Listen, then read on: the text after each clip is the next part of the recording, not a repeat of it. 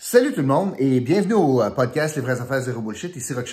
N'oubliez pas, belle tasse, Les vraies affaires zéro bullshit. Vous pouvez vous procurer cette tasse sur notre site web en passant. Euh, donc, on prend un café ensemble en ce vendredi, méli-mélo, mais avant, ah oui, 355 000 pièces à donner. Pas pire. Comment faire pour euh, obtenir donc une partie de ça? Ben, tout le monde gagne dans un concours qu'on a lancé. Puis pour gagner, ben, vous vous inscrivez simplement dans la description du podcast. Quelques questions, ça coûte rien. Puis vous êtes gagnant automatiquement. C'est des euh, rabais, escomptes, cadeaux provenant des commerces locaux. Euh, donc, euh, tout le monde y gagne. Fait que je vous encourage à le faire, honnêtement. Ça serait plate que vous bénéficiez de cela, puis que vous en parlez pas à votre belle- belle-sœur, votre beau-frère. Partagez ces, ce podcast-là, notamment, sur vos médias sociaux, puis les gens vont être capables, eux aussi, de s'inscrire, puis de gagner automatiquement. Et euh, à la fin, je vais vous donner un indice.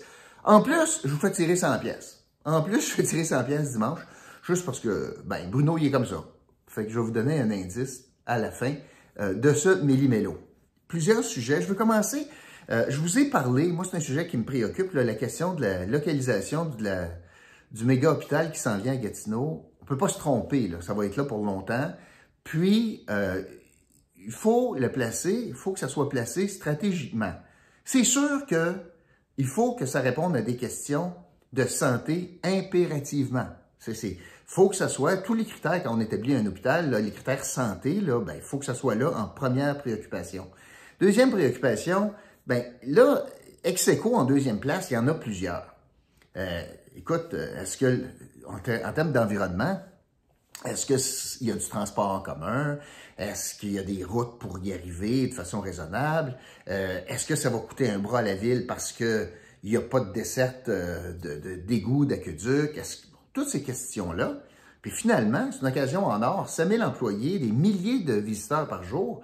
C'est une occasion en or de, en or de, de- d'injecter là, une- de l'activité économique autour. Alors, stratégiquement, si on a le choix, ben, il y a plusieurs terrains qui peuvent être intéressants, au centre-ville notamment, parce que c'est à côté du transport structurant. Ce que on entend, bien sûr, aujourd'hui, euh, particulièrement, euh, la PDG du CIS semble, euh, dans le fond, évoquer trois choses. Il est tard, ça pourrait retarder, puis il faut pas politiser. J'aimerais ça reprendre ça, moi. Il est tard. Je vais vous dire quelque chose, il est tard. Il n'y a pas eu beaucoup de consultations publiques. D'ailleurs, quand tu ouvres une consultation publique puis tu dis d'avance que ça te prend 150 000 mètres carrés, ben, puis tu t'expliques pas pourquoi pour établir un hôpital, alors qu'au CHUM, c'est 10 000 mètres carrés, ben, tu te limites pas mal à, la discussion. Tu limites la discussion pas mal. Fait que, moi, c'est pas un argument que je trouve bien fort, là, qu'il est tard. Ben oui, mieux vaut tard que jamais. Écoute, on peut pas se tromper pour 50, 60, 15 ans, là. M'en sac si on arrive à minuit moins deux, mais c'est- c'est- qu'on n'a pas entendu parler. Ça n'a pas été public. On ne connaît pas les critères. On ne connaît pas les terrains qui sont examinés. Alors, regarde, euh, on arrive sur le tard. Euh, Et vous, est-ce que vous arrivez sur le tard en expliquant à la population quels sont vos critères? Pas mal, vous ne l'avez pas fait encore. Deuxième, euh, ça va retarder. Ben, je comprends que si jamais le terrain choisi nécessite d'amples expropriations, ça pourrait retarder par rapport à si tu mets l'hôpital dans un champ. Mais ça aussi, attention, là, euh, l'argument donc, Ah ben, on va le mettre dans le champ parce que c'est plus facile. Ouais, mais si c'est pas bon pour la région, c'est pas bon. Dire, tu peux pas, tu peux pas faire ça de même. Je comprends que si tu es capable d'éviter des délais, tu le fais. Tu choisis des terrains en fonction de ça. Notamment, moi, je vous parlais du terrain de Guertin, n'aurait pas de délai. Il est vide. Il- C'est une démolition, c'est fini.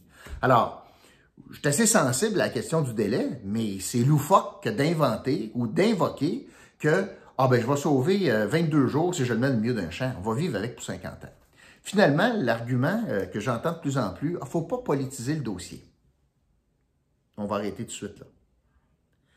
La décision du terrain sera une décision politique.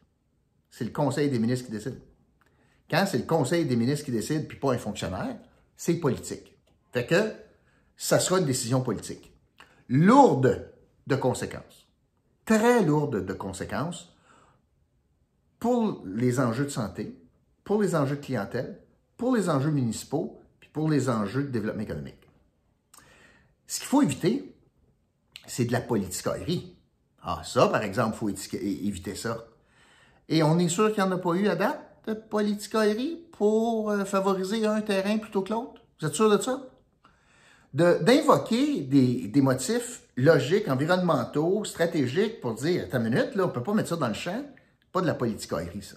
Ça, là, c'est de la gestion. Puis, ultimement, ça sera une décision du Conseil des ministres, fait que ça sera une décision politique. Puis, le gouvernement sera imputable de sa décision. Alors que la PDG là, reste dans ses plates-bandes qu'elle connaît mieux, soit la santé, plutôt que de s'aventurer sur le terrain politique. C'est ce que je voulais vous dire concernant l'hôpital. Euh, moi, j'ai une grande crainte. Ce que je lis, là, parce que on parle toujours en parabole. Madame Filion parle toujours, toujours en parabole. Puis c'est plus intéressant de lire entre les lignes pour Madame Filion que de lire ce qu'elle dit. Fait entre les lignes, ce que je comprends, c'est le choix est fait. Ça sera pas au centre-ville. Ça va être dans le champ parce que c'est facile de creuser sur du gazon. Puis de toute façon, euh, c'est comme on n'a pas donné le choix au gouvernement. On va donner juste une recommandation. Ah, il y en a trois pour la frime, mais on fait vraiment une recommandation. Alors, moi, c'est ça que je lis. Puis une chance, donc je, me rassure, je, me réjouis de voir que c'est pas elle qui décide. Fait que ça, c'est la bonne nouvelle. Euh, elle peut bien dire ce qu'elle veut, là, mais c'est pas elle qui décide. Fait que ça, c'est la bonne nouvelle. Bon, deuxième sujet. Peux-tu prendre un café? Ouais. Mise à jour économique hier au Québec. Mini budget, dans le fond, au Québec. Euh, on, va, euh, on va commencer en disant que l'économie va très bien. Très, très bien. Peux-tu en mettre un troisième? Très, très, très, très bien? On a des taux de croissance du PIB qui sont euh, extraordinaires comparativement à n'importe quelle autre situation au Canada, même aux États-Unis. Et fort de cela, le gouvernement est capable de diminuer sa projection de déficit, puis a des revenus tout à coup qui arrivent un peu du champ gauche. Euh, on a plus de revenus autonomes, on a plus de revenus de transferts fédéraux. Euh, donc, ça va. Puis aussi, on a plus de revenus provenant des euh, sociétés d'État. Fait que ça veut dire qu'on a une cagnotte de guerre pour la campagne électorale intéressante. Et le gouvernement a décidé d'investir, je vais me limiter à 2022, 5 milliards de plus. 5 milliards de plus pour stimuler certaines sections ou certains secteurs de l'économie pour, contrer, pour aider à contrer les effets de l'inflation, pour euh, contrer la pénurie de main-d'œuvre, pour ajouter euh, de l'argent en santé, puis aussi pour aider les familles, notamment aux prises avec des tarifs de garde disproportionnés pour ceux qui n'ont pas de place en CPE présentement. Je vous résume beaucoup ça. Là. C'est des grands secteurs où est-ce qu'on va injecter 5 milliards de dollars. Au final, il y a deux Québécois sur cinq qui vont recevoir un chèque d'un prochain mois pour toutes sortes de raisons. Et euh, dans le fond, euh, tous les titres sont à peu près pareils. C'est Noël avant Noël. Je vous parle de deux incitatifs particuliers parce que je les trouve euh, pas sûr que c'est très efficace. Alors, le premier, un premier incitatif, c'est de ramener des travailleurs retraités sur le marché du travail. Fait que j'imagine quelqu'un qui a été et je parle que de la mesure budgétaire, quelqu'un qui est retraité du fédéral ou retraité de la santé au Québec, et eh bien là, on lui dit, là, on a trouvé la façon de te ramener. Là. OK, c'est quoi? Bien, si tu reviens pour une année complète, puis si tu travailles assez pour gagner 40 000 tu ne peux pas faire deux heures par, semaine, là. si tu reviens assez pour gagner 40 000 bien, je vais te donner 3 000 imposables. Attends une minute là. Fait que là, c'est une mesurette pour inciter quelqu'un qui est à retraite de revenir travailler à temps plein pour gagner 40 000 puis aux 40 000, moi, je vais rajouter 3 000, tout ça imposable. Je suis pas sûr que, pas sûr que c'est une mesure très efficace. Mais ça paraît bien en disant, j'incite, j'ai quelque chose pour inciter les retraités à revenir. Mais c'est un coup d'épée dans l'eau, à mon sens. L'autre chose, c'est qu'on veut avoir plus d'étudiants en construction, technique de technologie de l'information, euh, en santé, en génie, euh, en quoi aussi? Euh, c'est ça, en génie, en santé, en technologie de l'information, en construction, puis il m'en manque quelques-uns là. Euh, ah oui, en, CPE également. Et on va donner n'importe où pour le parcours entre 9 000 puis 20 000 de cadeaux, de subventions. Ça faut que tu aies fini ta session avec succès, etc. Bon, ben c'est correct, sauf que euh, ça s'applique aussi à ceux qui étaient déjà inscrits. Fait qu'on va récompenser du monde déjà inscrit. Fait que dans le fond, tu viens pas, c'est pas de l'argent qui vient rajouter. Et euh, est-ce que les facultés sont capables de prendre, euh, la demande, etc. Fait que c'est la deuxième mesure, je me demandais l'efficacité vraiment. Euh, parmi les faits saillants de la mise à jour économique qui, bon, distribuait beaucoup d'argent, moi, il y a une couple d'affaires qui m'ont euh, marqué. Deux fois le chiffre zéro.